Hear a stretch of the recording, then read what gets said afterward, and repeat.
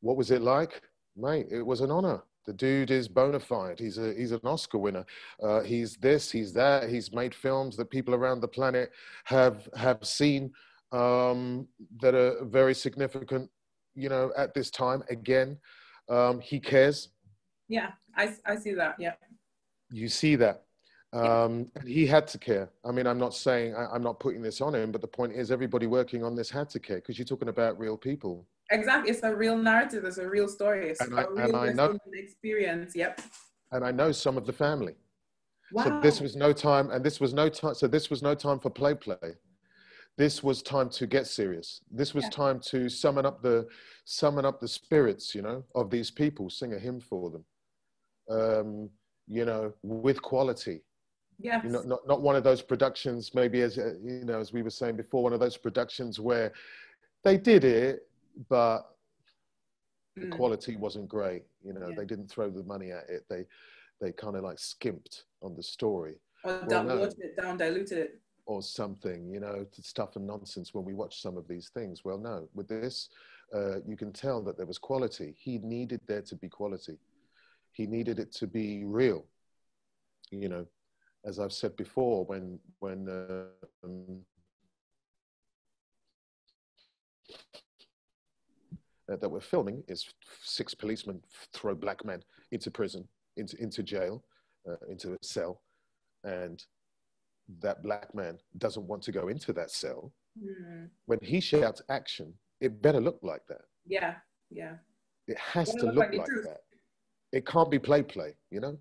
So um, th- this was not the one to do that on. So so that's what I that's what it was like working with Steve McQueen. For once, for the first time for me, uh, I was with a like a, a director who really cared to tell the story, asked like a story of our you know background properly, Mm. and that was that's an honor because it doesn't happen. It's so far, it's been once in a lifetime for me on telly Yeah. or, or on film in this country. I've done stuff on stage, you know, and, and, and- whatever else. Blue orange, yes. Yeah, exactly. Uh, you know, and the and, and Joe Penhall is another. Joe Penhall is another one of those writers who cares. Wow. You know, you know. But uh, but but Steve McQueen, he wrote and directed this. You know, he's a writer director. You know, that's also very different when you have someone who not only directs it and knows what he's talking about, he wrote it, so he knows the heart. So he has the balance. So he knows when he's talking to you about this, you know he's coming from a place. He already knew what he was talking about because it's the culture, but you know, you know what I'm saying. He he wrote it, so um, you feel it that much more. Yeah, Yeah. absolutely. How did it feel like playing Frank Crichlow of all people? Because he's like an icon in the whole Black British, you know, Black Caribbean history. Like, how was that specific role for you? Would you have done any other role or had it any other way? Or was that just like you were really keen on, happy to do that? Uh, I, I would have been happy to be uh, any part of this. Fair enough. to be to be to be honest you know you know uh, it's it's one of those where i would have um, but but how does it feel i mean again um, it, it's a first for me in my life you know Okay. telling the story of of of um, of our heritage okay the only time i went to to trinidad um, was was a long time ago in a twin propeller plane going from Grenada to Trinidad, thinking that we were all going to die. Oh, sorry. like laughing because I'm so happy, but then like, sorry. On the because, because of the plane journey. yeah, no, fair So, enough. That's You, do you know what I mean? Do you know what I mean? Yeah. That, that plane journey. Yeah. And and in the eighties, and in the eighties, that was no joke. No, I get you. I get you. Is it the ones where you're this close to the pilot as well? Like You're you're- close to the pilot, you know, and people are squeezing you like this. Yeah. You know, it's like you know, woo! You Yeah. hear that a lot. Woo! No, um, and, and then and then the, the customary clap when, when yeah, yeah, yeah, yeah. Gosh, you know, you know these things. Good. my friends, because my best friends are from Africa and they still ride in those propeller planes, planes by the way. And like when we got there, we were clapping and they were like, "What's wrong?" I was just like, "This is us. We're happy. We, we made it. Like it's a customary, you know, that we just kept all the time." But sorry, go on. so so um so anyway, anyway, you know, we're representing um, our heritage. I, I, and the other thing is, is that I, I've been someone who's been saying for quite a while. Um, I want to do something that represents my heritage. Yes. You know, I, I don't want to play another role that was written for a, a white guy. Uh, I don't want to play another role that was written for a woman. I don't want to play a role because of this kind of like, you know, um, this thing that that that uh, you know people are trying they're trying to you know to to give out roles and stuff this was actually uh, made sense on a on a gut level for me um, things about this i didn't really have to think about too much when you read the script yeah you know? uh, and and and maybe when I, I don't know i can't speak for you but maybe when you watch it you recognize things well the reason why that is is because everybody in that recognized what they were doing and when you do a script when you read a script um, when you're playing on, on screen like that as it were um, it's that much easier in a Mm. way funnily enough uh, to get those emotions out Yeah. Because you understand to the core your dna understands? Yeah. Absolutely. So what was it like? Um, you know, listen, you get the phone call. Well done, you got the thing, and uh, from the agent, you know, you got the call, you got Frank, yeah, you know, and you have a big smile on your face, and then within ten minutes, you think, oh man, now I've got to do it. Mm. Serious. From the moment that you hear, it's like that kicks in that seriousness that. A few minutes, a few minutes. You get a few minutes of discussing like well done's and stuff, and, and Mm. whatever else. But then you realize, yeah, I- I have to. How long have I got to do this? Right, about three and a half, four weeks. ooh, I've got to do an accent, you know. So as much as, as it was an honor to, to, to, to um, say a, a prayer, you know, a hymn for these people uh, after 50 years, um, it's not that it's, um, yeah, it was, it was, it was, uh, you, you know you have to do a good job. You know you have to take it seriously. Um, and you know that if you don't do a good job and you don't take it seriously, you're going to have act- other actors ringing you up, asking you why you didn't. Yeah, no. I appreciate you taking the accent seriously because I'm so proud. I'm happy that you know you you did your thing and it was it was Well, well. I know uh, if there's one thing I know with our community, you know, I, I, I was going to have, I'm going to have too many people coming up to me and saying, well, you know, you, you, you didn't tongue, you know, you, you, you didn't get into the rule, man. You, you, you know, there was no chops, man. Uh, you know, you didn't do, you didn't do what you're supposed to do. no, so uh, so I didn't so I you know I couldn't have that. So uh, as I say, I, I would blame my friend Makemba uh, for that. But we we met a few times. We we, we met a few times and. Uh, and it was great because I got down on dictaphone. And um, listen, he didn't tell me how to do the line, you know, physically and emotionally. Um, you have to get there as an actor, but um, the idea of how of, of how Trinidad is different to Jamaica. You know, when Jamaicans get mad, what that energy is, as opposed to when Trinidadians get mad, and, and what that and what that is. You know. just me. exactly, and the words, the words used, you know, and the the cuss words used, and, And we'll and go on for hours and hours and hours. And then 10 years later, we still bring it back up. Like, remember that time when? You understand? like, you know, and, and, and I always loved um, our Trinidadian family. I always loved their accent and I loved their spirit. Because it's are different to happy Jamaica. people like It's, it's different. The Jamaicans uh, got the headlines in my family. Mm. Um, you know, uh, the small island lot of my family, the Grenadians, you know, they don't really get the headlines so much, if you see where I'm coming from. So, um, you know, the, the Jamaicans are, are quite loud and, uh, you know, uh, uh, Yeah. uh, present. I, I Uh, compare Jamaicans to Nigerians and Trinidad to Ghanaians. We're like the calmer, quieter, and then the Yeah. Nigerians like, "Ah," like in your face. There you go. There you go. There you go. You see things like that. It's it's things like that. So to have a magnifying glass thrown on those little nuances as well, for me, it's it's tremendous.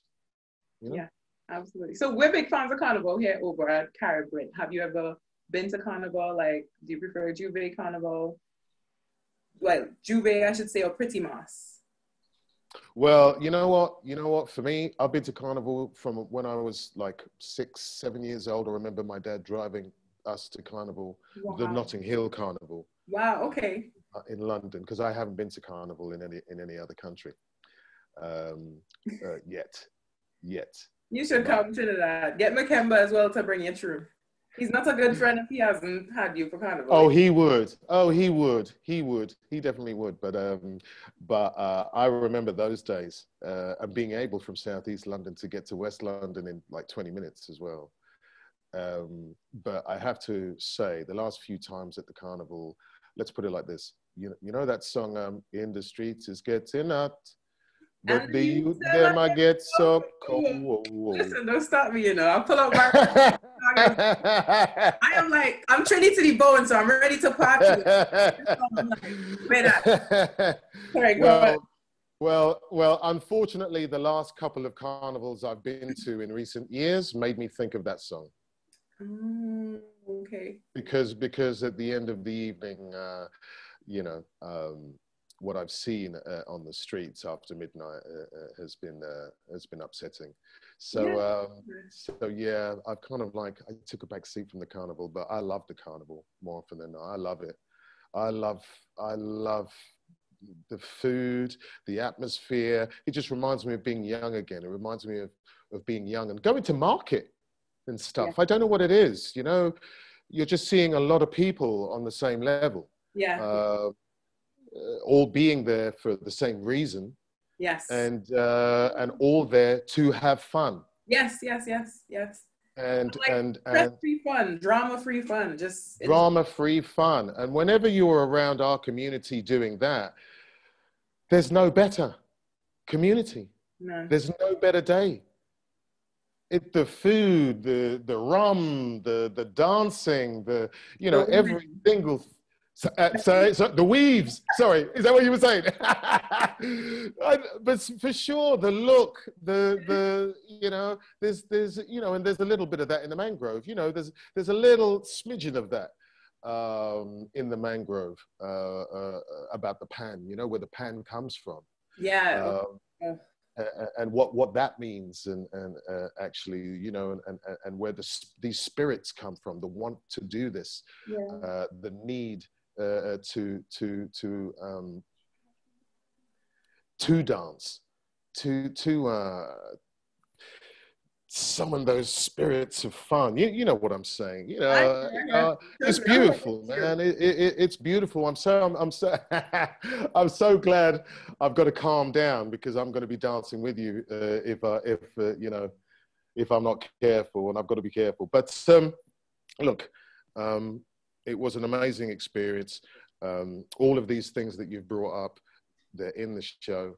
Um, uh, they, they, they show it's not just one side of things that we're looking at here. We're not just looking at the worthy side. We're not just looking at the oh woe is me side, you know. And we're looking at that. We're looking at the fact we like to dance, we like to smile, we like to joke, we like to eat good food, we like to be a, a, a, amongst good company with good music, good vibes and yeah. uh, um, but when our vibes are messed up, uh, we take umbrage to mm. that, and um,